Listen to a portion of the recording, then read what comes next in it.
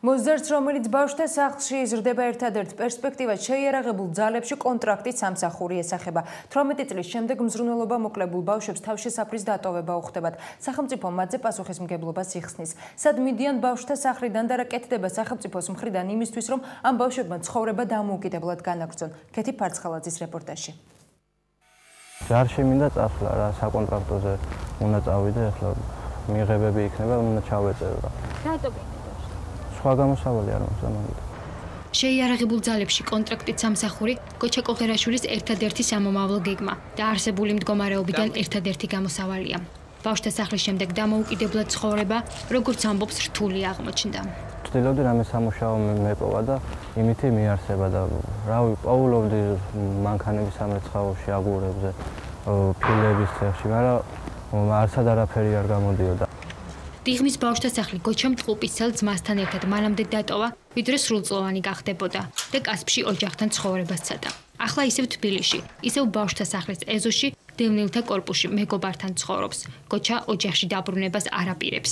დედა ჩემი ცუდათაა, ბებია ჩემი ცუდათაა ოპერაცია სჭირდება. უნდა გაიკეთოს რა.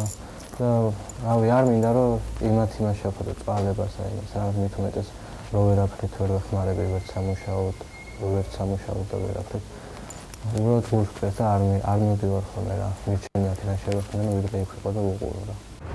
ბავშვთა სახსა და მეგობრის ბინას შორის მანძილი მცირეა. მცირე დრო დარჩა იმის გარკვევამდეც აიყვანინ თუ არა გოჩა შეიარაღებულ ძალებში საკონტრაქტო პირობებით. ამის შემდეგ მომავალი მას ბუნდოვნად ესახება. გოჩას მსგავსად თავშესაფარს ყოველწლიურად ასობით ბავშვი ტოვებს და მათ ნაწილს ცხოვრების გაგრძელება დამოუკიდებლად უწევს.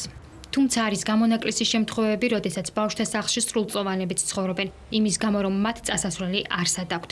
18 წლის შემდეგ სახელმწიფო ბავშვთა სახლის აღსაზრდელებზე პასუხისმგებლობას იხსნის და მათ თავშესაფრის დატოვება უწევთ. ერთადერთი რასაც სახელმწიფო მოზარდების გადასარჩენად აკეთებს, ისაა რომ ბავშვთა სახლში ცხოვრებისას ისინი სხვადასხვა ხელობას სწავლობენ. გვაქვს სხვადასხვა მიმართულებით წრეები შესაბამისი სპეციალისტები ზრუნავენ ამ ბენეფიციარებზე რომ და აქედან გამომდინარე ჩვენ ვფიქრობთ რომ ინსტიტუციის დატოვების შემდეგ ჩვენს ბენეფიციარებს შეუძლიათ ესე თუ ისე გააგრძელონ დამოუკიდებელი ცხოვრება. ჯანდაცვის სამინისტროს სახელმწიფო ზრუნვის სააგენტო ერთადერთი ორგანოა, რითაც სახელმწიფო ზრუნველობა მოკლებული ბავშვების მიმართ ზრუნვას გამოხატავს. სააგენტოში რამდენიმე თვის წინ ამ ბავშვებისთვის სწავლებისა და დასაქმების პროგრამა ამოქმედდა.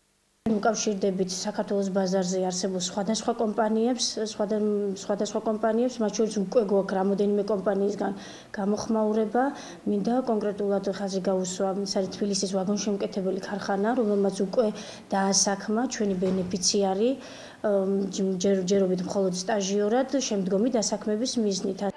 სახელმწიფო ზრუნვის სააგენტომ ჯერ მხოლოდ 6 მოზარდის სტაჟირება შეძლო. მათივე ინფორმაციით მხოლოდ მიმდინარე წელს სწორედ სრულწლოვნობის მიზეზით ბავშვთა სახლის 300-მდე მოზარდმა დატოვა. მათგან დაახლოებით 20%-ს ოჯახი არ ყავს და პირველ რიგში თავშესაფარსა და საარსებო შემოსავალზე უწევთ ზრუნვა.